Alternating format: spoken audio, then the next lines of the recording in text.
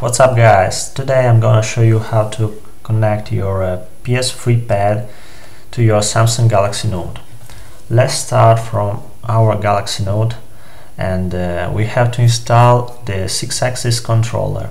I remember you that uh, if you want to install this application you have to have a rooted device so you must uh, execute the, the rooting on, uh, on your Note let's enter in our Sixaxis controller.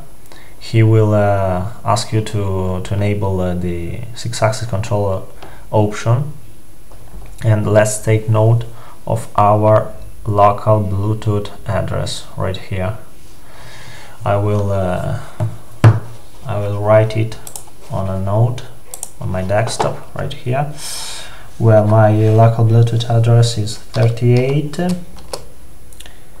EC E4 85 73 73 okay now we can uh, start our uh, Sixaxis Pair Tool on our PC and we have to to use our micro USB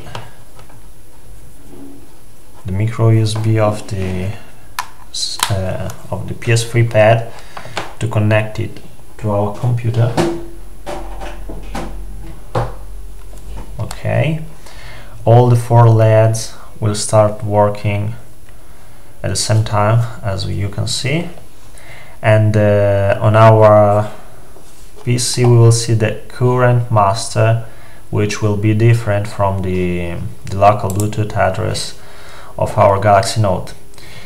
What we have to do now is to copy the new uh, Bluetooth address right here and paste it uh, on the change master. We have to click update and now our uh, PS3 controller will have the uh, the new uh, Bluetooth address. Now we can unplug it from our PC let's go here on the, the application and click start. Let's start the PS3 pad clicking on the power button. Okay. Here we are. Our joystick is connected to the Galaxy Note. What we have to do now is to change the IME on the uh, I don't know if you can you can see it. Okay we have to change it to the first option which is Sixaxis controller like this okay? And now we can test it on uh, on an application like the GBC emulator.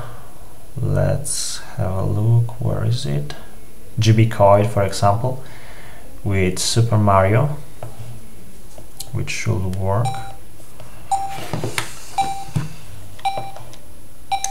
Let's look if the uh, in settings input settings and key mappings we have to uh, okay up down and so on select button A, button B. Okay.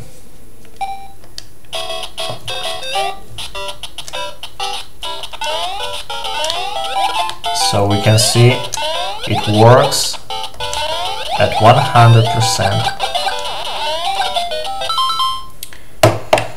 So I think that's all.